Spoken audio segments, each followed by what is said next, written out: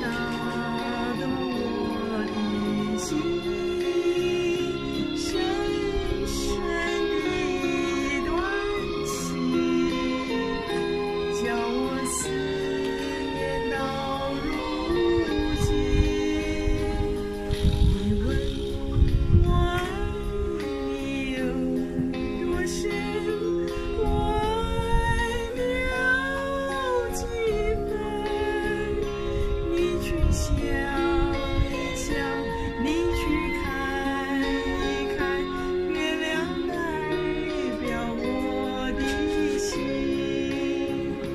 你去想一想，你去看一看，月亮代表我的心。